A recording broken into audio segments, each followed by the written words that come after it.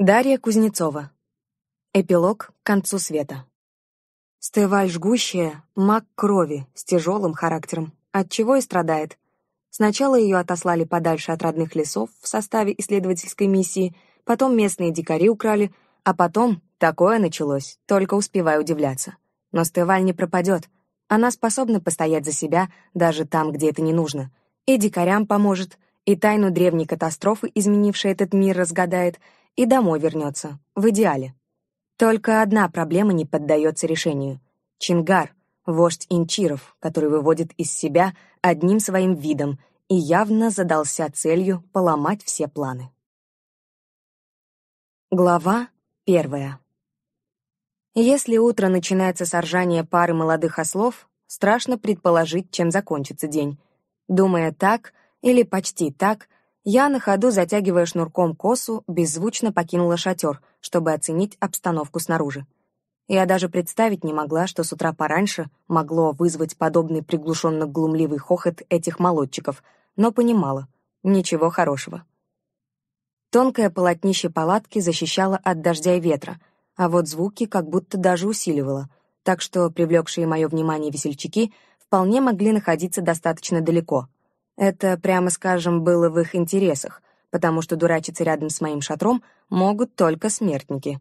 Особенно если веселье связано со мной или моими вещами. Вся команда знает, что стываль жгущая, шуток в свой адрес не понимает и быстро напоминает незадачливым весельчакам, почему она гораздо шире известна как стерва злющая. Да и вообще, ссориться с единственным целителем в команде идиотов нет. Как оказалось, Желание жить пара матросов утратила не до конца. За моим домом они только прятались, и то лишь потому, что располагался он на краю лагеря, а объект наблюдения находился за пределами последнего.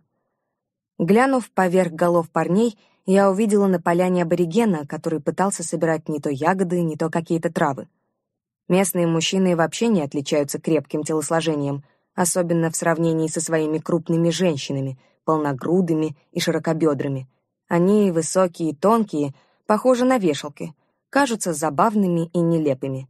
Но что поделать, у аборигенов явный матриархат. Женщины крупнее и сильнее, выполняют всю тяжелую работу, обрабатывают землю, выделывают кожу, а мужчин довольно мало, и они на подхвате. На наш взгляд, конечно, выглядит дико, но они так привыкли. Объектом веселья матросов был совсем еще мальчишка, худенький и невысокий, с всклокоченными, коротко остриженными черными волосами. Видимо, длинные гривы полагались только взрослым.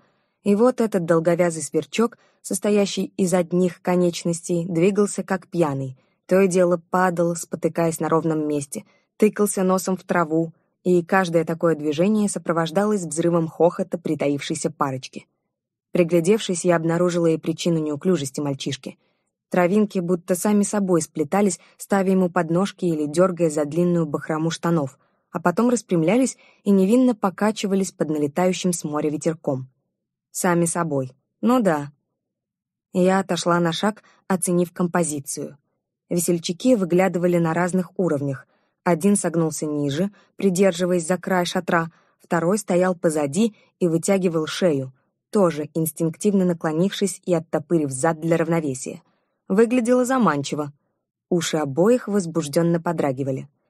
Конечно, проигнорировать предложенную мишень я не сумела, и тяжелая коварная подметка сапога впечаталась в филей со смачным шлепком, придав ускорение.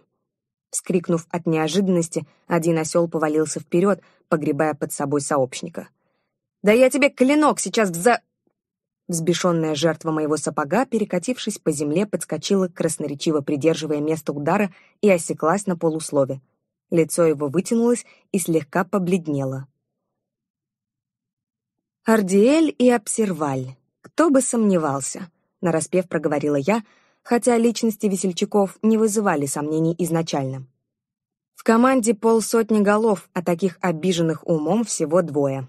«Значит, развлекаемся?» «Стеваль, но мы же ничего такого...» — виновато заблеял мелко трясущийся Абель. «Зелена мать, ну какой все же трус!» Впрочем, оба хороши.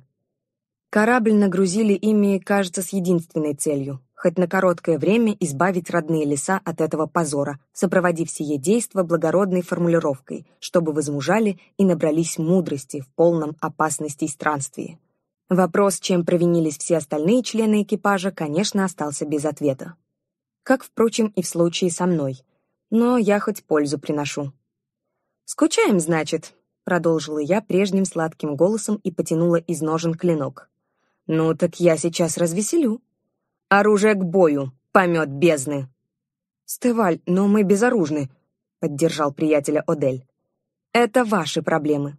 С ребенком справились? Молодцы», — похвалила я, доставая одного из балбесов клинком плашмя. Теперь за задницу держались оба. Самое время подобрать противника посложнее и показать свою мощь женщине. Ну же, дохлятина, вы же сильные маги, травой повелеваете. Гоняла я их долго. Нет, взмолились о пощаде шутники сразу. Следом попытались сопротивляться пассивно, то есть сжавшись на траве, но благословленная алой девой сталь и издобренные моей руганью пинки неизменно оказывали бодрящее действие. Прекратил потеху, как ему и положено, капитан. Видимо, он с утра пораньше зачем-то поднимался на корабль, поэтому начало веселья пропустил. А вот потом, привлеченный хохотом и подначками, эта парочка утомила своей дуростью всю команду.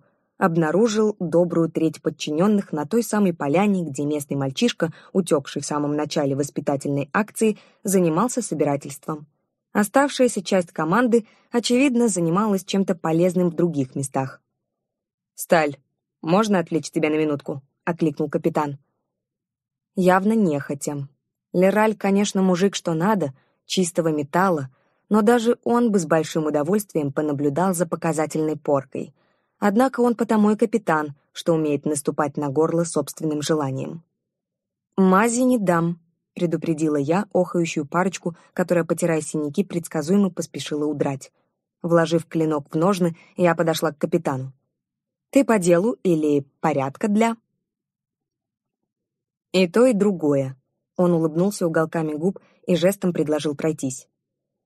И внешностью, и характером Лераль буквально эталон Иналя, сына лесного народа. С красивым породистым лицом и зелеными глазами, высокий, аж на ладонь выше меня, жилистый, очень сильный и быстрый. В поединке он делает меня минуты за две, иногда за пять, но такому не стыдно проигрывать. Леля я уважаю вполне искренне. Он тверд, благороден, смел, умен и обладает потрясающей выдержкой, да еще холостой — в него влюблено почти все женское население столицы, за редким исключением вроде меня. Собственно, именно поэтому мы с ним давние, но эпизодические любовники. Он знает, что я не потащу его к жрецам и горяча не только на расправу, а я знаю, что он умеет сделать женщине приятно и держать язык за зубами.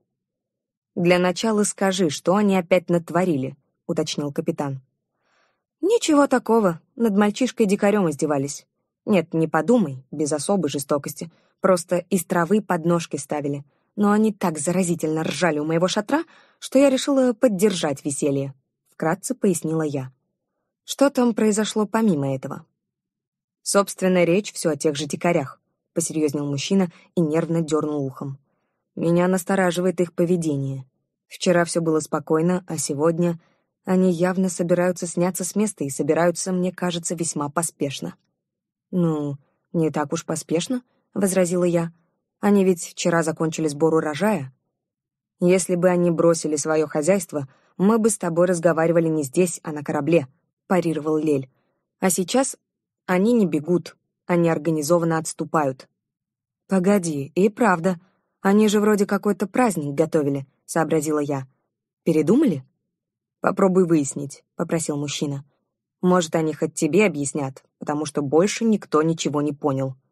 Вестников с приказом возвращаться я в любом случае разослал всем группам. Лучше перестраховаться, но и уточнить масштабы проблем не лишне. Сделаешь? Ты этих дикарей лучше всех понимаешь. Я не назвала бы это пониманием, но попробую, нехотя согласилась я. Тащиться по санцепёку к дикарям, да еще до завтрака, не хотелось совершенно, но не могу отказать, когда вежливо просят. Воспитание, будь оно неладно. «Спасибо», — улыбнулся Лель, сжав мое плечо.